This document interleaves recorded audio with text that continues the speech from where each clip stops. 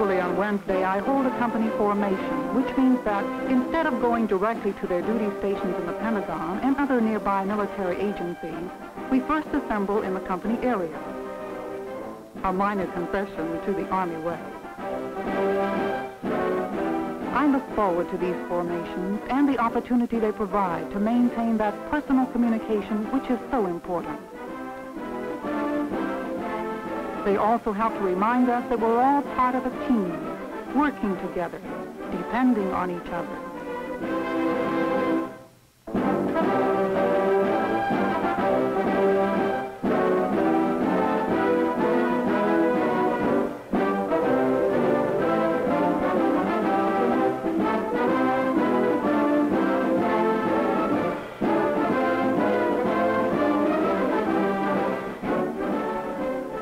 Office door is always open, but often little questions can't wait. The women are free to approach me at any time, and I encourage them to do so. It always helps to get someone else's viewpoint or advice, or to be reassured. Good to have someone older and wiser to turn to. And that's one of the things commanding officers are for. Your relationship with the members of your command becomes much like that of pupil and teacher. And you get a lot of satisfaction out of helping them, watching them develop self-reliance, maturity of judgment, and self-discipline.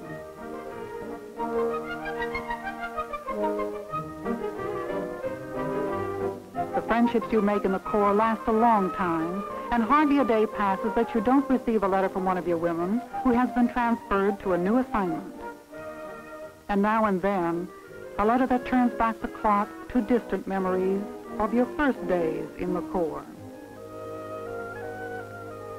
Dear Mildred, received a letter today from daughter Ellen. Our first since she started her basic training. She's terribly thrilled and so excited about it all, and so impressed. Do you remember our first days more than 20 years ago? 20 years ago. Has it been that long? Yes, I guess it has at that. July 1942, a brand new experience for every one of us, and a challenge.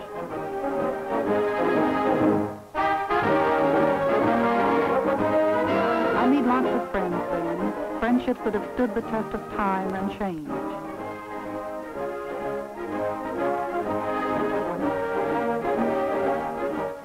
January 1943, how excited we were that tremendous day we embarked for overseas, and how proud and important we felt.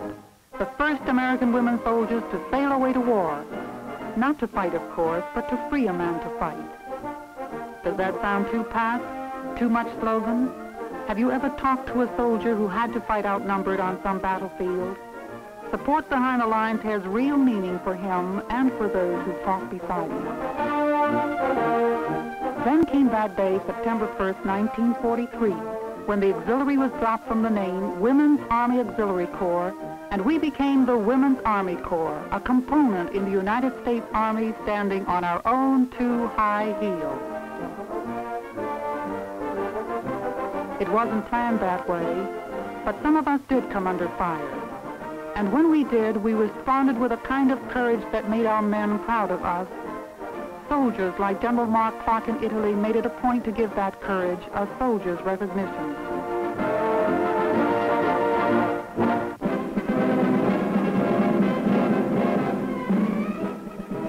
And finally it came, VE Day, victory in Europe. Oh, how proud we were as we marched with our men down the Champs-Élysées in Paris as part of the greatest victorious American army in our nation's history.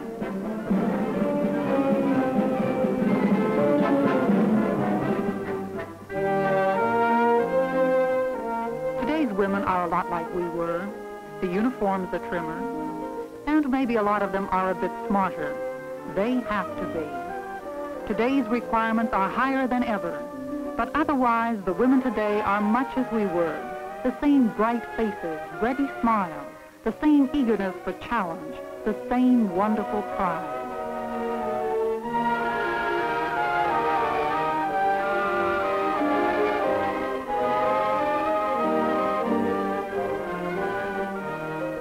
Pentagon alone, WACs perform more than 20 different kinds of jobs. In the Army as a whole, the total is more than 100. They fill vital positions in the offices and communication centers in both the Department of the Army and the Department of Defense. Some are receptionists for top-ranking generals, where they take care of important appointment calendars and handle correspondence which might someday be among the treasured documents in the National Archives. Assigned to the graphic arts, where working with others, they participate in the free exchange of ideas, getting the job done. They are advanced in their occupational specialty according to their skill. Those with an inclination toward clerical work learn to operate business machines in an Army service school and after graduation are placed in key positions in busy command headquarters and logistical support activities. Like so many of their counterparts in civilian life, many WACs are stenographers, and those with top secret clearances are selected to work in top-level Defense Department agencies, recording every word that is said at vital decision-making conferences, learning of history before it happens in today's fast-moving world. The opportunities for WACs in the field of medicine are as varied as they are exciting.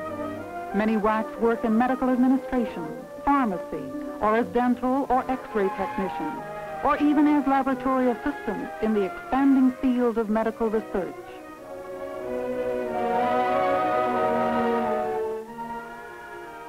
Some make a rewarding Army career of the popular hobby of photography.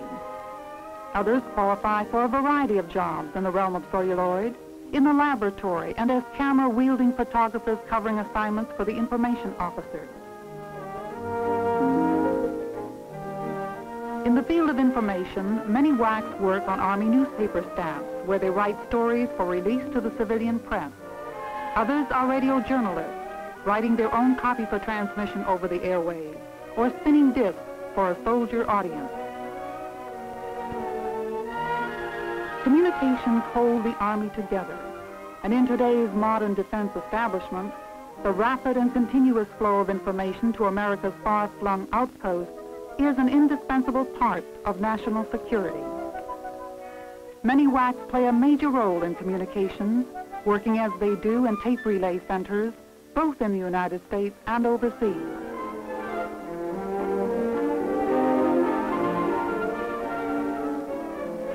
But it's not all work. In addition to 30 days leave time each year, WACs receive frequent passes, days off, for relaxation and for sightseeing. After a day's work, many relax in the comfort of the day room. That's Army talk for the company living room. Here they watch television, read, keep up on the traditional feminine arts, or simply engage in small talk.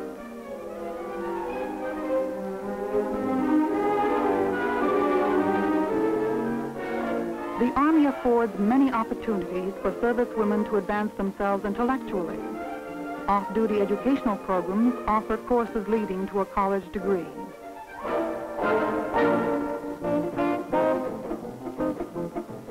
Have an active social life. Most military installations feature several post clubs.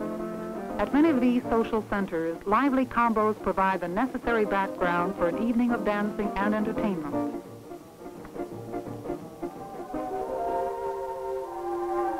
But a busy day and an entertaining evening, like all good things, must come to an end, including the evening of dancing with Mr. Wonderful.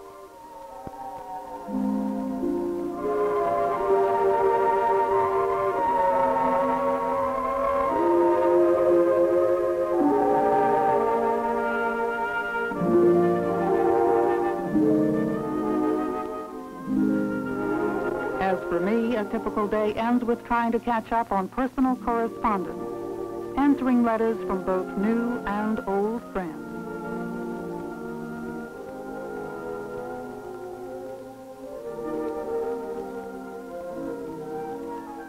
Dear Mary, your most welcome letter came this morning and brought with it such a happy surge of memories. Those early days in the WAC were wonderful, wonderful times. The time of youth is always wonderful, of course, but it was more so as we shared it. I'm so delighted to hear of Ellen's enthusiasm for the Corps. But how could it be otherwise, the way you raised her? The patriotism and sense of duty you instilled in her toward her family, her church, her country. You're right, Mary. You don't have to worry about Ellen. The Women's Army Corps is filling with girls just like her. Truly wonderful young women with high ideals and a sense of dedication and direction that put real meaning into the words, serving with pride and dignity. The Corps has so many examples of fine young American womanhood. They make me proud, very proud, of the uniform I wear and the Army it represents. Proud to be a member of the Women's Army Corps.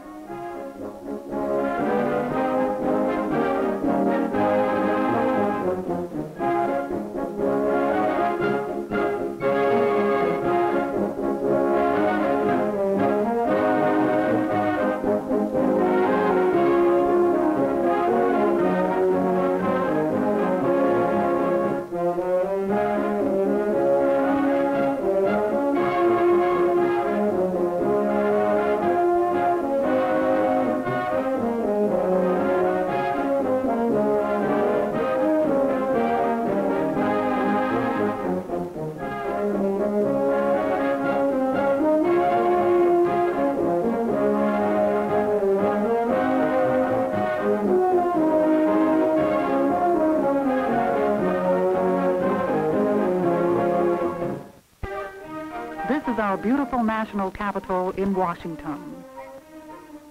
Here is a monument named after our first president, the Thomas Jefferson Memorial, the Memorial to Abraham Lincoln. And just across the Potomac River in historic Virginia is the proud manor that was once the home of Robert E. Lee. Fort Myer, where I'm stationed, was part of the Lee estate. And no matter how many times you pass through its gates on the way to work, you never quite lose the thrill of this intimate brush with history. My name is Mildred Bailey. I'm a lieutenant colonel in the Women's Army Corps, a title and organization of which I'm understandably proud.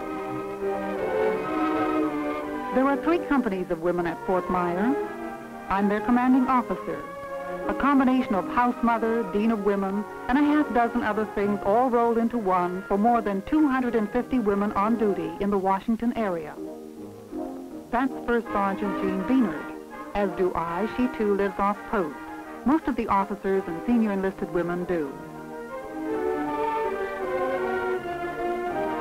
I have always admired Sergeant Beanert, admired her poise, her air of self-confidence, the way she talks, and the proud way she carries herself.